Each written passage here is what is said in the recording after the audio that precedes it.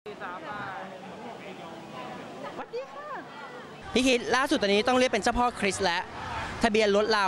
ได้เห็นหรือยังเกิดอะไรขึ้นใช่แล้วผมเสียดายมาก ผมมาบ่นกับคนรอบตัวผมเลยนะว่าเนี่ยซื้อรถมานะไม่รู้ถูกไม่ถูกอะเดี๋ยวผมจะไปซื้อหวยตามเลขทะเบียนผมเออได้แต่พูดแล้วลืมซื้อเออ แล้วแบบคุณพ่อก็แบบว่าถ่ายรูปลง พ่อก็โพสต์ Facebook ไว้แล้วนะแล้วก็โพสต์ว่าเดี๋ยวจะไปซื้อหวยไม่รู้ว่าพ่อซื้อด้วยหรือเปล่า เออ แต่แฟนๆอะวันนี้เจอนะครับ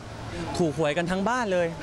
ไอตัวบอกไม่ซื้อเอออดเลย จริงๆนี่ได้ถามคุณพ่อไหมว่าไหมพ่อโพสต์หรือพ่อแบบโพสต์เล่นๆหรือพ่อแบบเฮ้ยคิดว่าเลขนี้มันมาคือพ่อโพสต์จากเราเราเนี่ยแหละเป็นคนบอกป้าเองว่าป้าเดี๋ยวไปซื้อหวยเลยนะบอกอาม่าเลยนะเนี่ยเลขทะเบียนเนี่ยซื้อเลย เออ แล้วป้าก็แบบเออ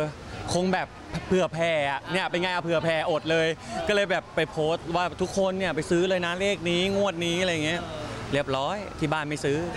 แต่จริงๆ แฟนๆ ถูกกันเยอะมากเห็นรีทวีตกันใช่ครับใช่ครับผมเจอแฟนๆแล้วเขาบอกว่าเนี่ยถูกกันทั้งบ้านเลย เพราะว่าเอาทะเบียนรถเราไปซื้อนะครับเออ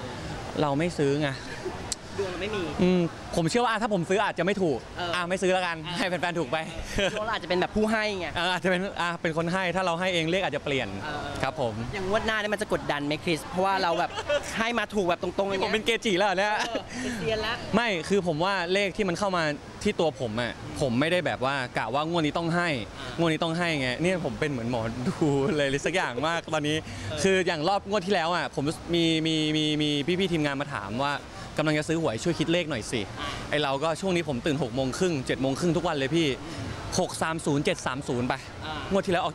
730 หรือหรือสักงวดหนึ่งเนี่ยผมจำไม่ได้แล้วแต่ว่าถูกมามากกว่าหนึ่งงวดเลยนะครับมันถูกไปรอบหนึ่งครับ แล้วงวดเนี้ยเห็นว่าป๊าป๊าเพิ่งซื้อรถให้ก็เลยแบบอ่างวดนี้แล้วกัน ซึ่งงวดหน้าผมจะเอาแบบเดิมคือ ผมจะไม่คิดเลยว่าผมต้องเลขอะไร เดี๋ยวถ้ามันมีเลขอะไรเข้ามาเองอะอ่าๆเดี๋ยวค่อยไปบอกค่อยไปว่ากันอ่า ไม่ถูกอย่าว่ากันนะ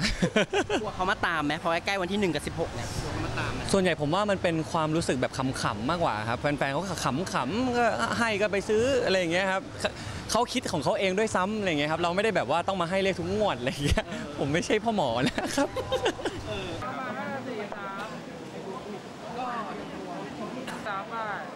เมสเจอแต่มาสองเออฝ่ายเสน่ห์หนึ่งสอง ติดตามข่าวบันเทิง พี่นายตะเทนแชนแนลอย่าลืมกดสับตะไคร้กันด้วยนะ